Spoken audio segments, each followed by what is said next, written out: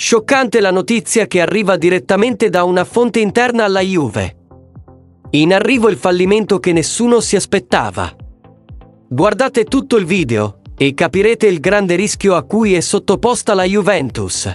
Prima di procedere, iscrivetevi al canale e attivate la campanella per non perdervi altri contenuti come questo. La Juventus in campionato sta facendo veramente molto bene a livello di classifica si trova infatti seconda appena dopo l'Inter. Inoltre ha una buona prospettiva dinanzi a sé, data anche l'assenza di coppe europee, che potrebbe forse facilitare la corsa allo scudetto, quantomeno a livello di preparazione fisica. Ormai da diversi anni, la Juve porta avanti parallelamente un progetto, sullo stile di Real Madrid e Barcellona, avendo una seconda squadra professionista, nella quale far giocare e preparare giovani talenti, da lanciare poi in prima squadra. Molto noto e apprezzato l'ultimo talento, ovvero Yildiz. Eppure la realtà che si sta manifestando è molto preoccupante. La Juventus Next gennaio si trova in una posizione critica, con il pericolo concreto di retrocedere dalla Serie C alla Serie D.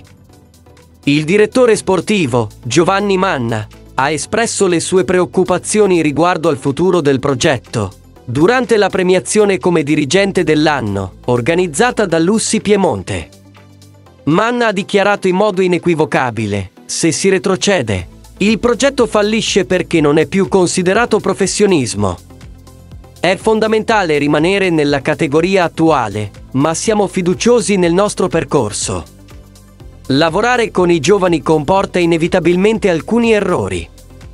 Abbiamo talenti promettenti, come quelli nati nel 2005, che sono già integrati nella prima squadra. Ad esempio, Ildiz ha segnato un gol contro la Germania, con la Turchia appena 20 giorni fa. Dobbiamo rimanere tranquilli, ma è probabile che intraprenderemo alcune mosse sul mercato per consolidare il nostro progetto. È evidente che una retrocessione porterebbe a un fallimento molto grave del progetto, che avrebbe senso solo se rimane nel professionismo. Queste dichiarazioni aggiungono un elemento di tensione e incertezza al destino della Juventus next gennaio, mentre la squadra cerca di evitare una retrocessione che potrebbe mettere a rischio il futuro del progetto stesso. Ciao e alla prossima notizia!